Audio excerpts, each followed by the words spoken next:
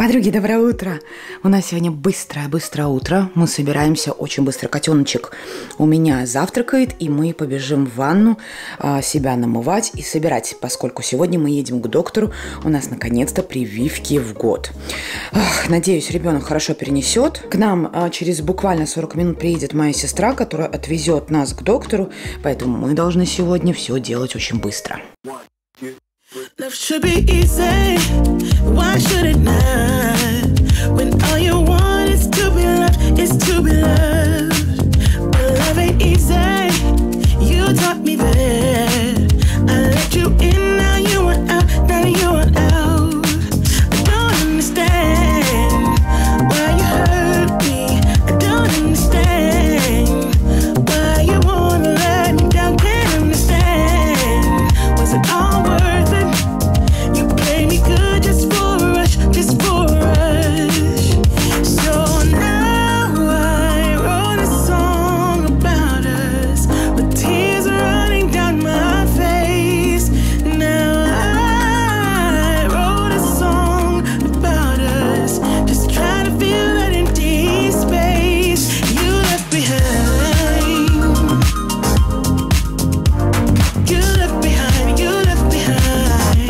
Ребенок одет.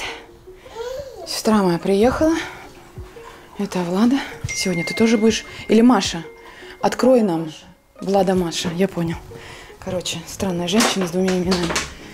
Hello? Котенок готов?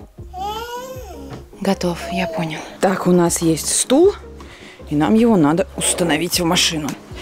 Хух! Первый раз буду устанавливать этот стул сама. Надеюсь, у меня все получится.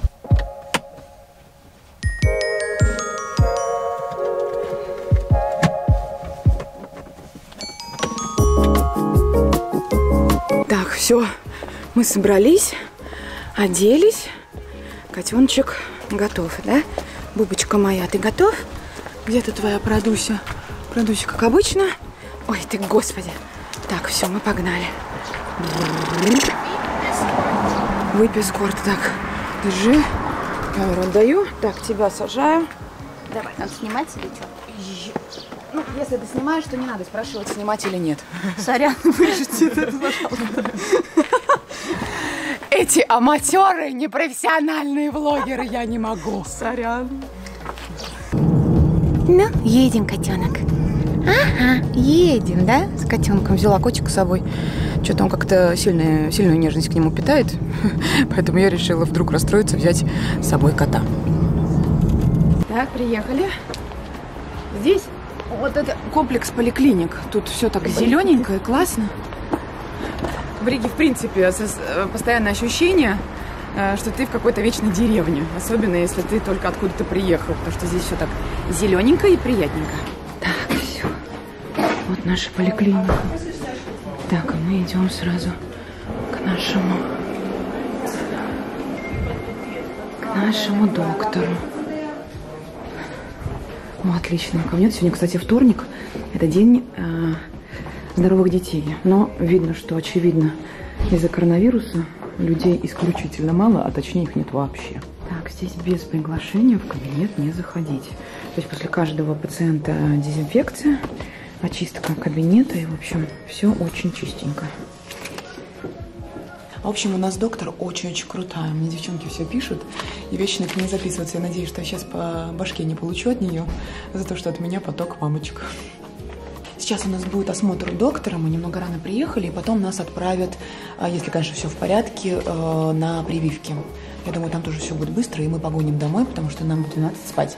Но думаю, что сегодня мы ляжем где-то, наверное, пол первого. Вообще к моему доктору не попасть. А, Я помню, когда я сама искала педиатра, мне было все равно, я была готова сама приехать э, в поликлинику. То есть обычно первый визит доктор к тебе приезжает. И я у своей подруги попросила номер телефона, и она по ошибке дала мне личный номер своего доктора. У нее самой трое детей, она у доктора, в общем, уже много-много лет.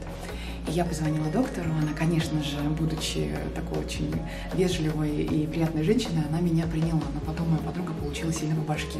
И я знала с того момента, что я никому не, не могу давать ее личный номер, естественно. И всегда даю номер э, ее помощницы. Сейчас Машка мне рассказала историю про подругу, которая родила малыша. Она, видно, мне в Инстаграме написала, я просто не знала, что это она. И я ей посоветовала доктора, так она еле-еле, даже мы не поняли, она записалась, к ней не записалась, в общем, у нее запись полная, к ней практически невозможно попасть. Рема, в общем, она не видела, наверное, с ноября.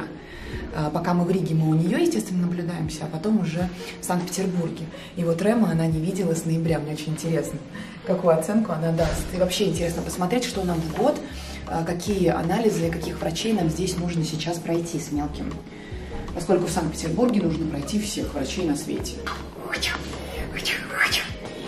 Ты куда погнал? Ты куда погнал, Реми? Только что прошла доктора, она прям в маске, в маске. Мы все равно, где? А, супер. Маша, давай. Мы пошли. Так, ну все, сделали ребенку прививку.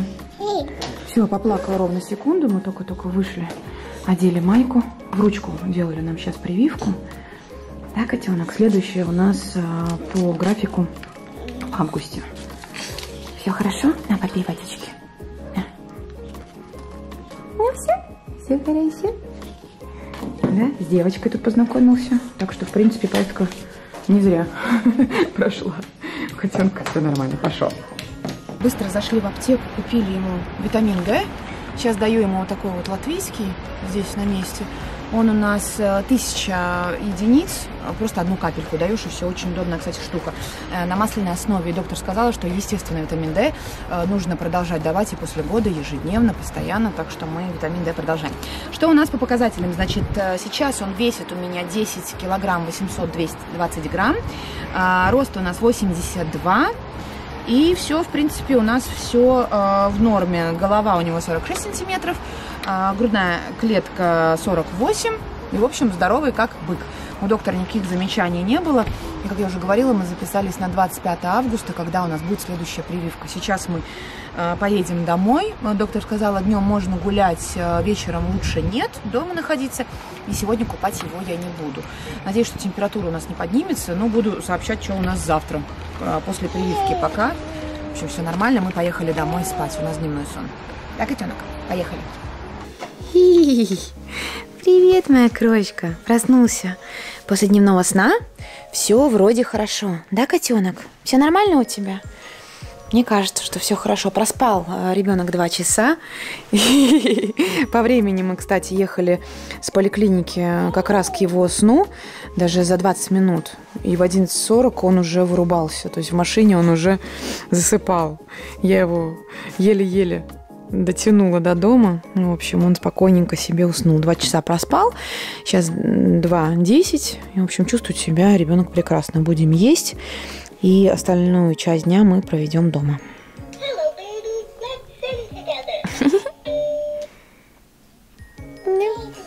Дыни, да.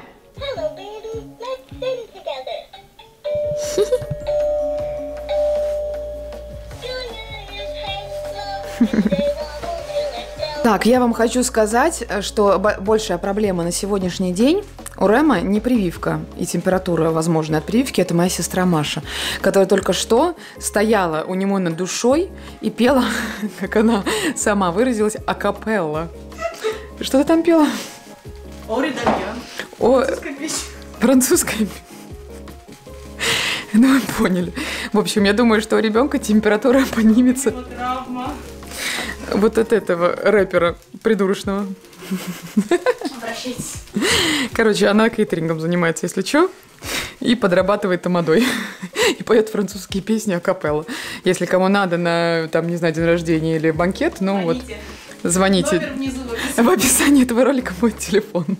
Седьмой час, у котеночка немного поднялась температура, 37 градусов. Он очень-очень сильно плакал. Успокаивается только если я лежу рядышком с ним. Сейчас я включила ему мультики, чтобы он хотя бы немножечко-немножечко успокоился и чувствовал себя получше. Но, в принципе, успокаивается только если я рядом лежу вместе с ним. А ближе ко времени сна, к 7 часам мы поедим кефирчик вечерний и будем укладываться потихонечку. Ночью, понятное дело, я буду мониторить, чтобы температура не поднималась выше 38,5.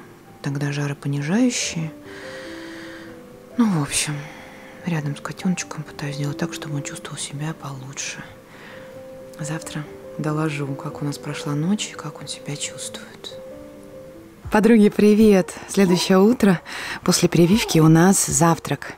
Судя по аппетиту и доброму настроению ребенка, я делаю вывод, что у него все сегодня хорошо. Спал он в целом очень-очень неспокойно. А вчера уснул он вовремя, но засыпал он, конечно же, не так, как обычно. Поскольку чувствовал себя совсем нехорошо, а, поэтому мне приходилось, во-первых, его держать на руках. То есть он, в принципе, уснул э, у меня на груди, что, как вы знаете, э, для моего ребенка очень редкий случай. А полчасика я его так держала, понятное дело, в нашей темной комнате с черепашкой, с белым шумом. И это, на самом деле, единственное, что помогло ему уснуть. Настолько плохо он себя чувствовал, что плакал он очень-очень горько, вот прям кричал. Знаете, когда ребенок орет, и ты пытаешься дать ему соску, и эту соску ему не дать, поскольку рот настолько широко открыт, что он ее вообще не видит, не слышит, и он э, просто кричит. Но как только я выключила свет, черепашка, значит, все наше привычное из э, ритуала э, ухода на ночной сон, то все, он буквально за секунд 10 просто вырубился. То есть я на груди чувствую, что ребенок уже спит. Ну, когда перекладывала в кроватку, он немного проснулся, заплакал, но тут же уснул. В принципе, всю ночь он а, спал достаточно неспокойно, хотя спал. Проснулся в 3 часа утра. Подгузник у него был полный до края, и пришлось его поменять. Ну и где-то, наверное, полчасика заняло, чтобы ребенок обратно ушел спать. Зато утром сегодня мы проспали практически, наверное, до полдесятого. И вот мы сейчас сели э, позавтракать. А вчера мы не выходили уже на улицу, мы не купались и проводили э, день дома. Ну, в принципе, как и после любой прививки полагается. Сегодня мы планируем осторожно побыть на улице сейчас утром до 12, до его первого дневного сна. И буду смотреть, как ребенок будет себя чувствовать в течение дня.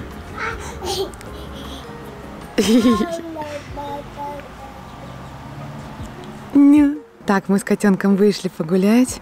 Смотрите, какая красота. А, я не могу. Розы все практически распустились, но многие уже отцвели. Но есть еще новенькие, свеженькие, которые будут появляться.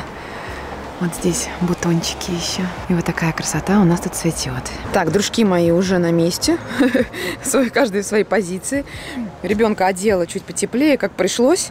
Просто потому что небо у нас затягивают какие-то тучки, но на улице тепло. Тем не менее, пока нет э, солнышка, я ребенка одела чуть потеплее. После прививки мы так осторожничаем. А, доктор, кстати, мне а, вчера сказала, убрать ходунок нафиг. Она говорит, ну ты представь сама, зачем твоему ребенку напрягаться, учиться ходить, если у него, у него есть удобный ходунок, он его тут схватил и погнал. И бегает себе спокойно по территории. Э, и без себе не знает. Зачем ему напрягаться? Все удобно, все быстро. А вот когда у ребенка ходунка нет, то у него есть стимул встать. Ползать все время на коленках неудобно. В конце концов, это на самом деле и даже иногда больно. Поэтому у ребенка будет стимул быстрее подсобраться и начать ходить. В результате наш ходунок спрятан в шкафу. Самолетики летают, господи, самолетики. У нас есть самолеты. Граница открыта. Ну, по крайней мере, хоть какие-то. Самолетик, привет! Мы тоже хотим к тебе.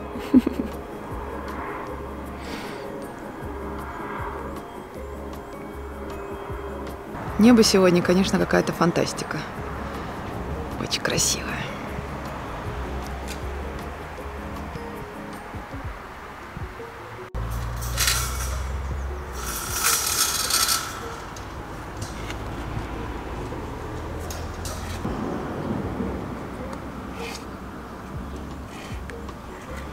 Ты такой хитренький.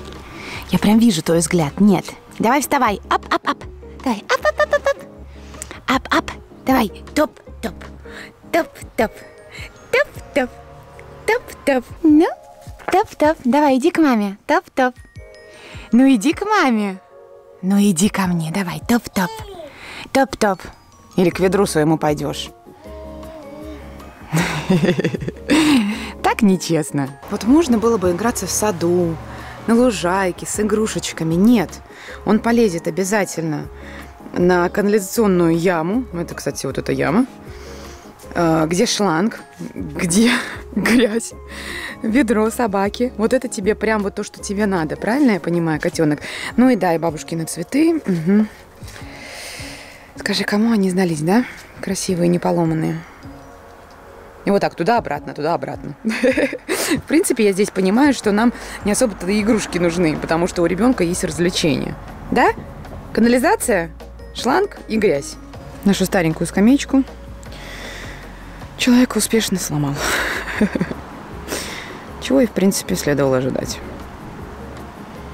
Сейчас он вернулся ее добить. Также мы с доктором, конечно же, обсудили развитие малыша с точки зрения еды и с точки зрения того, как он э, ведет себя на улице, когда попадает э, в естественную среду и когда у него есть возможность вот так вот э, сидеть на земле, играть с камешками, мазаться, пачкаться. В общем, делать все, что мамы так сильно не любят. Вердикт был позволять ребенку делать все, что он вот сейчас делает. И также это, конечно же, касается еды. То, что многие мамочки называют просто свинячеством, качеством и жуткой картиной, от которой трясется глаз, для ребенка на самом деле очень и очень э, полезный процесс, поскольку э, во время его свинячества или вот такой вот игры на земле с камнями, с грязью, ребенок развивается лучше. У него есть возможность развивать его мелкую моторику, его восприятие, его взаимодействие с окружающей средой, его координацию, его логическое мышление, его речевой аппарат. И в том числе такая свобода ребенку поможет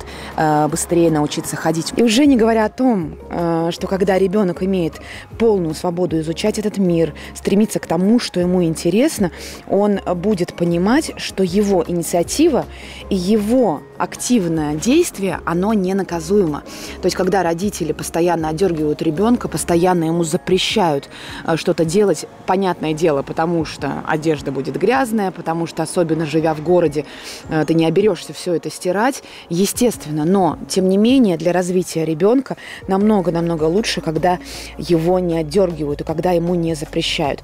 И уже когда вырастет, он сам по себе будет понимать, а, что он может проявлять инициативу, он может быть смелый, он может э, принимать решения, он может начинать в своей жизни что-то новое. Особенно в тех случаях, когда перед человеком э, возникает ситуация, когда кардинально нужно поменять свою жизнь. И здесь ему уж точно понадобится смелость, вся возможная на свете инициатива и принятие очень сложных решений. Именно поэтому я своему ребенку позволяю изучать этот мир так, как он считает нужным. Особенно пока мы здесь находимся в Риге, у нас есть возможность играться в своем саду и не так сильно волноваться по поводу стирки одежды, гигиены, чистоты, ну, в общем, всех тех аспектов, которые настолько важны, а, находясь в городе. Так что здесь ребенок в полной свободе, конечно же, учитывая все меры а, безопасности и предосторожности. Ну, а что касается свинячества за обеденным столом, э, доктор меня успокоила, что это отнюдь не означает, что ребенок будет так же свинячиться, когда он вырастет. С манерами и воспитанием это вообще не связано. Поэтому смело могу позволять ребенку есть в этом возрасте так, как он может. И имея такую свободу, он быстрее научится есть аккуратно.